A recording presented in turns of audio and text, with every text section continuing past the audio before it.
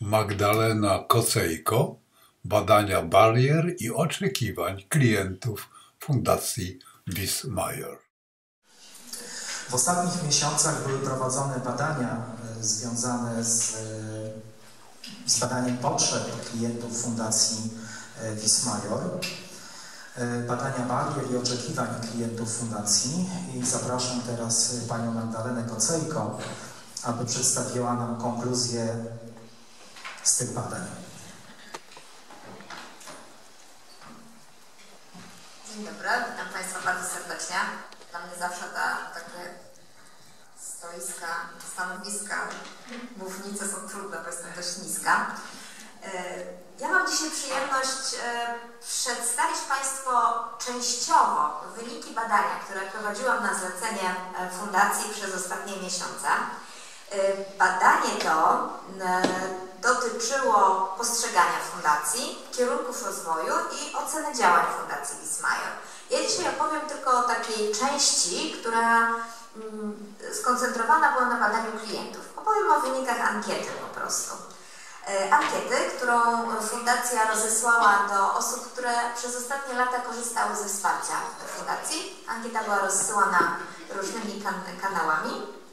E, no i osoby mogą się wypowiedzieć, e, jak oceniają te działania, jak widzą dalsze kierunki działań fundacji, e, a także jak postrzegają fundację i czym w ich ocenie różni się ona od innych fundacji działających na rzecz osób niewidomych i słabowidzących. Dodam, że całe badanie było szersze i poza tą ankietą prowadziłam także wywiady fokusowe e, z liderami, o których dzisiaj już słyszeliśmy, z pracownikami i wolontariuszami. Natomiast e, jako, żeby dobrze dzisiaj wybrzmiała ta perspektywa e, także osób, które korzystają ze wsparcia fundacji, to chciałam opowiedzieć o tej części. Zacznę od cytatu. Od cytatu jednego, jednej z klientek. Fundacja, czyli ludzie zaangażowani w jej prowadzenie, wykonują swoją pracę profesjonalnie. Pozwala to zwiększać niezależność w wielu dziedzinach życia. To niezależne życie osób z niepełnosprawnościami, osób niewidomych i słabowidzących, to jest taki motyw, który w wypowiedziach klientów pojawia się bardzo często. Ogólna ocena działalności fundacji, o którą pytaliśmy w ankiecie, jest bardzo dobra. 62% osób, które przyznam, że nie była to bardzo duża grupa, bo to było 35 osób, e, oceniło działania fundacji bardzo dobrze. Kolejne 21% bardzo dobrze. Odpowiedzi mm, tak oceniające fundację negatywnie właściwie się nie pojawiały. Raczej źle to jest 3%, czyli fizycznie jedna osoba. Jeśli chodzi o mocne strony y, fundacji, to tych mocnych stron wskazywano wiele, wskazywano też słabe, e, ale znacznie mniej. Wśród mocnych stron wymieniano przede wszystkim profesjonalizm kadry, dopasowanie oferty do faktycznych potrzeb osób niewidomych. To chciałam szczególnie podkreślić, dlatego że to się przewijało w tym badaniu bardzo przekrojowo, że te działania e, są stworzone w odpowiedzi na faktyczne potrzeby, a to dlatego, że Fundacja, e, fundacji pracują niewidomi pracownicy. I to jest kolejna mocna strona, bardzo podkreślana przez klientów fundacji, że wiadomo, że to nie jest fundacja tworzona przez osoby widzące dla osób niewidomych, tylko osoba, w której niewidomi pracownicy mają faktycznie wpływ na kierunki działań. Mocną stroną są także wolontariusze, dobry kontakt, sprawne działanie, a także wsparcie blisko miejsca zamieszkania. Tutaj chodzi przede wszystkim o taką możliwość skorzystania z zajęć orientacji przestrzennej w, no właśnie, blisko miejsca zamieszkania, bez konieczności wyjazdu gdzieś y, i że to ma taki bardzo praktyczny wymiar. Wśród słabych stron, których nie mam tu na slajdzie, a o których trochę wspomnę, pojawiało się na przykład, że czasami jest trudno znaleźć informacje o działalności fundacji i aktualnych projektach, i wprowadza to trochę chaosu z perspektywy osób, które z tego wsparcia korzystają. Teraz kilka cytatów. Cytaty zawsze są najlepsze, bo pokazują obrazowo, e, co, e, co ludzie e, chcieli powiedzieć. Sam na własnej skórze odczułam działanie, które mi bardzo, a bardzo pomogło. Brałem udział w dwóch projektach i naprawdę jeszcze zrobione profesjonalnie. Drobne potyczki czy błędy nie zaciemniają w żaden sposób całości pracy fundacji i jej szczytnego celu. odpowiedź jednego z klientów. Fundacja oferuje bardzo dużo różnych szkoleń, z których można wybrać coś dla siebie. Szkoli też psy przewodniki, które są ważne dla osób niewidomych. Zadaliśmy też pytanie, czy usługi świadczone przez Fundację są dopasowane do potrzeb osób niewidomych i słabowidzących. I tutaj chciałam bardzo raz jeszcze to podkreślić, jak bardzo w ocenie klientów Fundacji są. 78% stwierdziło, że zdecydowanie tak, a kolejne, że raczej tak. To jest bardzo mocny wynik wskazujący na, na to faktyczne dopasowanie. E, odpowiedzi, że nie wiadomo, ani tak, ani nie, ani raczej nie, to były pojedyncze wskazania. No i tu kolejny cytat. Uważam, że projekty realizowane przez fundację odpowiadają na potrzeby osób niewidomych. W ich ramach można opanować wiele praktycznych umiejętności ułatwiających codzienne funkcjonowanie. Pytaliśmy także, czy Fundacja Wismajor wyróżnia coś na tle innych organizacji działających na rzecz osób niewidomych i słabowidzących no i e, tutaj odpowiedzi były, były bardzo e, ciekawe. Większość osób stwierdziła, że tak wyróżnia. 66% było takiego zdania, 16% uznało, że nie, a 19% że trudno powiedzieć.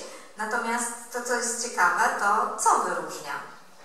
A co wyróżnia? Właśnie wspomniane już wsparcie w miejscu zamieszkania, e, niewidomi pracownicy, którzy pojawiają się tutaj po raz kolejny z takim bardzo mocnym wskazaniem, E, szkolenia psów e, przewodników, znowu to e, indywidualne podejście i wsparcie dopasowane do potrzeb, ale także operatywność w działaniu czy aktywność w mediach społecznościowych.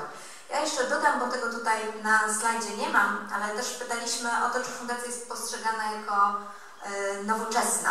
I tutaj też większość badanych klientów stwierdziła, że, że tak i tutaj e, właśnie ta operatywność w działaniu, aktywność w mediach e, i to, to było wskazywane, w ogóle taki sposób działania, ten sposób świadczenia wsparcia to było wskazane jako takie e, uzasadnienie tego. No i mamy oczywiście cytatę. Zauważyłam, że w fundacji bardzo sprawnie pracują osoby naprawdę niewidome to ma bardzo korzystny wydźwięk w czasie szkoleń, gdyż pracownicy własnym przykładem pokazują, ile można, może osiągnąć osoba niewidoma. Planowane szkolenia mają też praktyczny sens, a nie wyłącznie pozyskiwanie funduszy. Poświęca dużo projektów na rozwój osobisty osób niewidomych i często są to zajęcia praktyczne, odbywające się stacjonarne i stacjonarnie i zmieniające funkcjonowanie osób z dysfunkcją wzroku. Poza tym szkoli psy przewodniki. Taki jeszcze mi się przypomina cytat, y, którego tutaj na slajdzie nie mam, ale który moim zdaniem też jest bardzo obrazowy, to jest, że fundacja y, po prostu robi robotę. No i a, jeszcze może skomentuję tylko jedno, jeśli chodzi o to, co odróżnia y, fundację, bo mm, tam się pojawił też, już właśnie mówiłam tutaj o tym, o tym dopasowaniu do potrzeb, o tych niewidomych pracownikach, o tym wsparciu w miejscu zamieszkania, ale jeszcze było też o tym, że te działania fundacji są faktycznie nakierowane na to niezależne życie osób niewidomych i słabowidzących, a, e, a nie tylko na tako, takie wspólne spędzanie czasu, tylko że to jest faktycznie e, ku takiej zmianie e, do tego, ku temu niezależnemu życiu. No i teraz, e, które projekty czy działania są szczególnie cenne z perspektywy badanych klientów? No to są te, o których już dzisiaj tu trochę e, słyszeliśmy.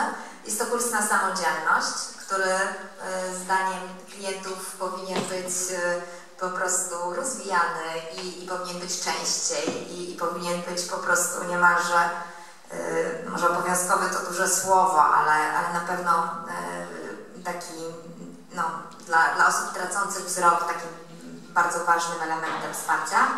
Orientacja przestrzenna w miejscu zamieszkania, szkolenia psów przewodników i tutaj znowu, mimo że pytanie dotyczyło konkretnych projektów, ale znowu pojawiało się dużo wypowiedzi mówiących o tym, że to, co jest szczególnie cenne, to że projekty tworzone są przez osoby niewidome dla osób niewidomych. Się pojawia taki obraz Fundacji Wismajor jako profesjonalnej organizacji tworzonej przez osoby niewidome dla osób niewidomych i słabowidzących. Jeszcze może dodam parę słów o tych kierunkach działań. o których tutaj na, na slajdzie y, nie było i które też są przedmiotem pewno wielu dyskusji y, wewnątrz fundacji. Ale to, co chciałam powiedzieć, że ze strony od takich oczekiwań klientów, to ważne jest, żeby tych działań było y, jeszcze więcej, żeby one były y, w całej Polsce, poza dużymi miastami, także w mniejszych miejscowościach, żeby ten kurs na samodzielność był, y, było go więcej, częściej organizowany. No i żeby każda osoba tracąca wzrok wiedziała, że jest Fundacja Wismajer. Dziękuję Państwu bardzo.